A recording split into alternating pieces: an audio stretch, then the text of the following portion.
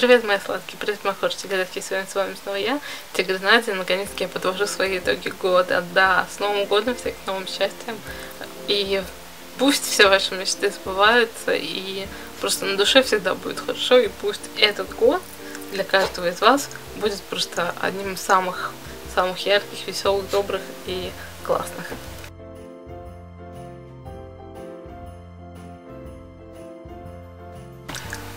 Как всегда, конечно, начинаем с самого грустного, но ладно.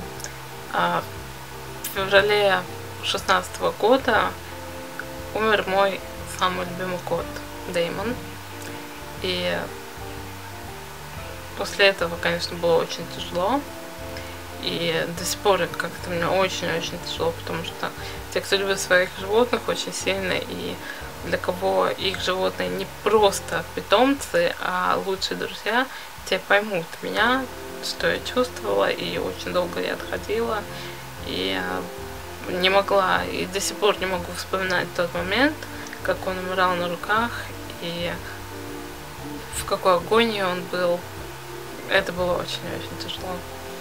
И в ноябре, 26 ноября этого года, 2016 не стало моего дедушки, моего самого любимого человека, самого дорогого, главы нашей семьи. И вообще, поэтому я долго не снимала, нигде не появлялась и всячески избегала вообще любой тематики о личной жизни и а, просто о жизни, да, не хотела ни с кем общаться, никого видеть и а, не быть онлайн, да, можно так сказать.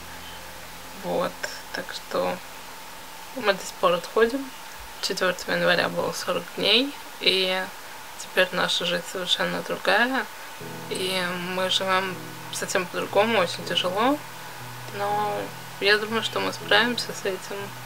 Теперь нас совсем мало. Теперь у нас всего три человека. Да, и как-то так. Дома стало очень одиноко, но мы до сих пор думаем, будто бы он где-нибудь в командировке опять, и скоро приедет, и каждый день просыпаешься и думаешь, о, надо спросить маму, девушка звонил, вообще что-нибудь говорил, как у него там дела, и потом понимаешь, что нельзя спросить это больше, и дальше вот как-то с этим живешь.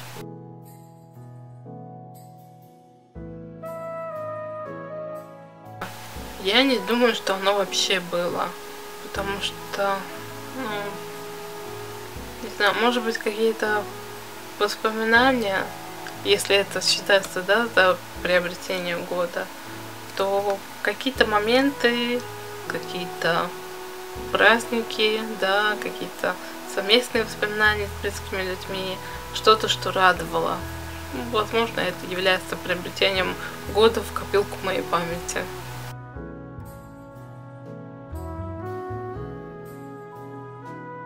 Это, возможно, разработка препарата по поддержанию моего заболевания. И, наверное, это является такой главной новостью этого года, потому что я все долго пыталась вспомнить, что еще такого было, но ничего мне в голову не пришло. И, ну, как-то так.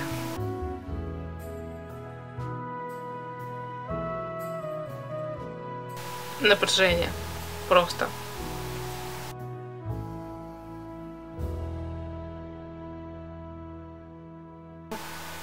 Не было никакой победы года, только какие-то внутренние проблемы еще больше появились, и поэтому, наверное, я проиграла эту борьбу.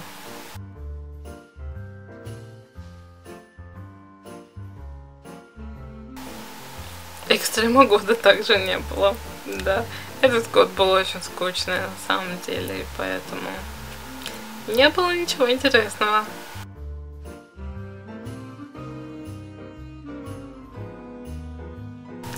Радостью года было, когда мы сидели на Красной площади ночью, ну, поздним-поздним вечером, били куранты, если можно так назвать, да, ну, часы вот эти на Красной площади. Также было просто сотни людей самых разных наций, возрастов, цвет кожи и разные языки, но все были одной командой, и все были такие улыбчивые, дружелюбные, все обнимались, просили друг друга сфотографировать. И вот это единение народов, да, всех и людей, оно настолько было волшебным и было переполнено энер- энергией вот этой положительной. И так хотелось, чтобы просто во всем мире всегда был мир. И больше ничего не надо.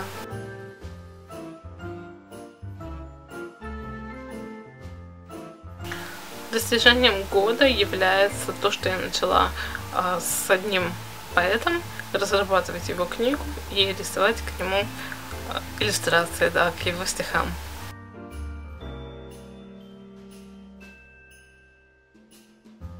Напиток года однозначно кофе. Просто в течение года и по сей день я каждый день завтракаю с чашкой кофе не могу, не знаю.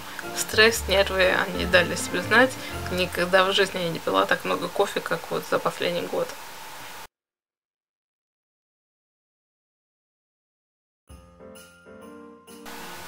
Состояние года напряжение. Да, просто напряжение.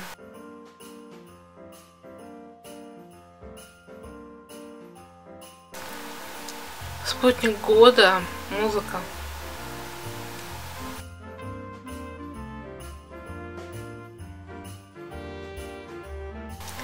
Музыка года это Эд Ширан, затем The Weeknd, Джим Крок, Сансара, Олег Майами, Kaleo, Hozier, Монатик, Джеймс Бэй, Трой Сиван, Дотан, Beach Boys и Джастин Бибер.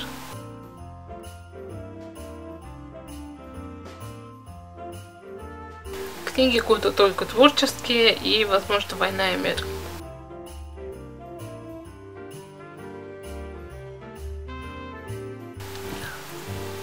Разочарование этого года, скорее всего, погода, потому что в этом году была отвратительная погода. И я чувствую, что не только у нас, да.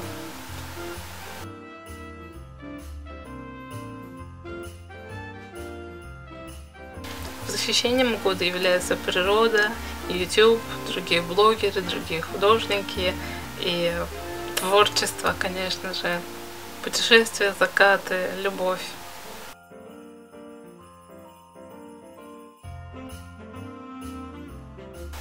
Увлечение года это, конечно же, YouTube и всякие творческие штуки, рисование, что может быть еще. И, конечно же, мой блог, да, его также можно и к достижению года отнести, потому что в этом году я столько постила, сколько за предыдущие несколько лет я не делала так много постов, как вот в прошедшем.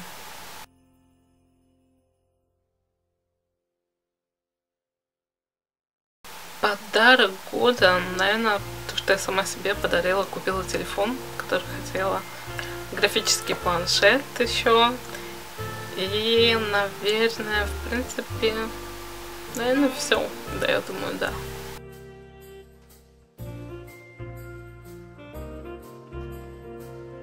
События года это, конечно же, видео People, затем концерт пиццы и пам-парам-пам-пам океанариум.